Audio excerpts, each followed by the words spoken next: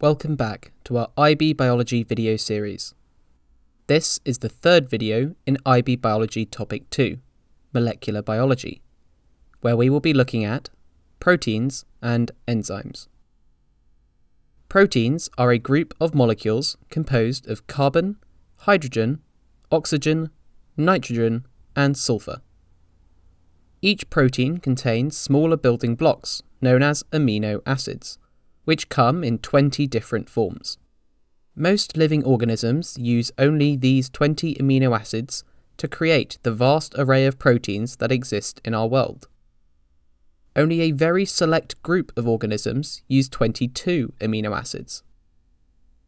The term given to all the proteins produced by the genetic information in an organism is the proteome. But what is an amino acid? An amino acid is composed of an amino and carboxyl group bound to a central carbon. This central carbon then has a hydrogen and variable R group attached. This R group simply stands for a variable side chain, which can be polar, nonpolar, or charged. Amino acids join by condensation, yet another anabolic reaction, to form polypeptides. Like with carbohydrates and lipids, you need to be comfortable drawing this process. So, draw two amino acids adjacent to one another. The OH group within the carboxyl group on one amino acid joins with the hydrogen within the amine group on the adjacent amino acid. This forms a peptide bond and water. If two amino acids join in this way, a dipeptide is formed. But if more than two join, a polypeptide is formed. There are six main functions that proteins can carry out. This can be remembered with the mnemonic Sir Rick, where S stands for spider silk, a fibrous protein stronger than steel and tougher than Kevlar. It contains regions of parallel polypeptides that extend when stretched, making it extensible and resistant to breaking. I stands for immunoglobulin, i.e., antibodies, which are proteins that bind to antigens in humans and form an immune response. R stands for rhodopsin, which is a membrane protein of rod cells that is surrounded by an opsin polypeptide. It absorbs light and generates an electrochemical response to create vision. R stands for rubisco, which is an enzyme that fixes carbon dioxide from the atmosphere to enable carbon based life. I stands for insulin, which is a hormone that signals glucose absorption from the blood. It's secreted by beta cells in the pancreas and converts glucose to glycogen. And C stands for collagen, which is a structural protein with a rope like structure made of three polypeptides twisted together. It forms a mesh in skin, blood vessels, teeth, and bones to prevent tearing and cracking. Obviously, these proteins are found in varying temperatures and pHs, and, understandably, they are affected by these conditions. You need to be comfortable explaining how, so let's cover this now. As temperature increases, heat causes vibrations which can disrupt the bonds present in a protein. Once the temperature passes the optimum temperature, the amino acid chain is disrupted and the protein changes shape, known as denaturation. As pH increases or decreases from the optimum, there is an increase in the hydroxide or hydrogen ion concentration, respectively. These ions disrupt the bonds in a protein and can also cause denaturation.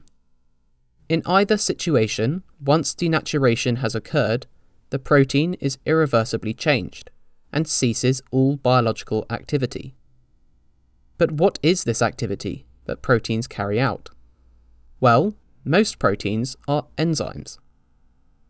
Enzymes speed up the rate of chemical reactions.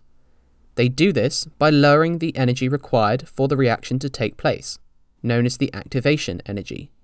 But they themselves are not altered in this process. The overall reaction is known as enzyme catalysis and can be outlined by the following stages. A substrate collides with an enzyme due to random continual motion of particles in the solution. The substrate binds to the enzyme at a location known as the active site. The substrate changes into different chemical substances, known as products, which then detach. It is important to note that the active site of an enzyme is very specific in both its shape and charge to the substrate. So, for a collision between an enzyme and substrate to be successful, they must be compatible in shape and charge, aligned, and possess an energy greater than the activation energy. As you can imagine, adding enzymes to every solution means they're hard to remove. So, enzymes are often immobilized on surfaces so that they are reusable. This is incredibly useful industrially, for example, to produce lactose free milk. The IB expects you to describe this process in detail. So, let's cover it. Lactose is a disaccharide broken down by lactase into glucose and galactose.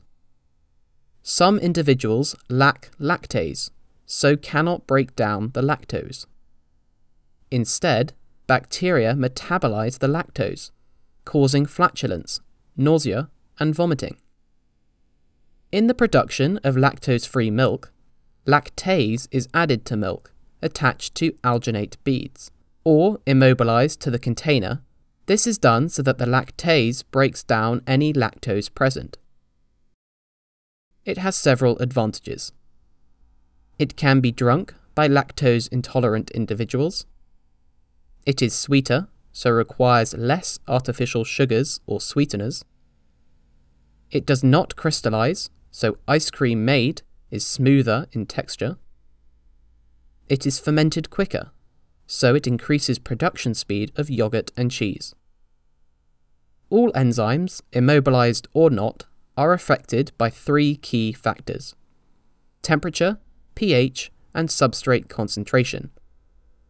Since enzymes are just proteins, these explanations are like those provided earlier in this video.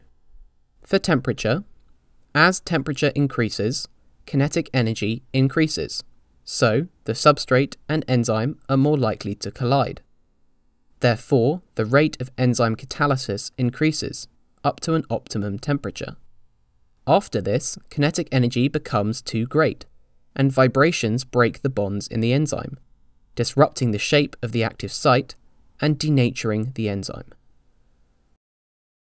For pH, as pH increases or decreases from the optimum, there is an increase in the hydroxide ion or hydrogen ion concentrations respectively.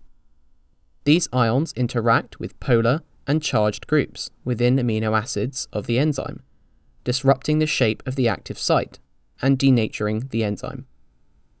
For substrate concentration, as substrate concentration increases, the likelihood of successful collisions increases.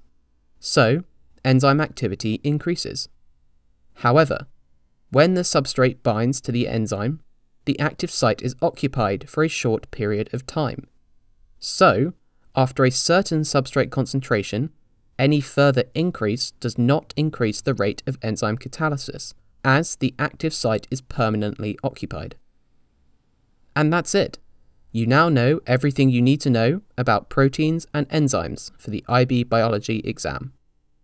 We hope you enjoyed the third video in our IB Biology Topic 2 video series. Check out our notes, flashcards and questions on our website to reinforce your understanding from this video.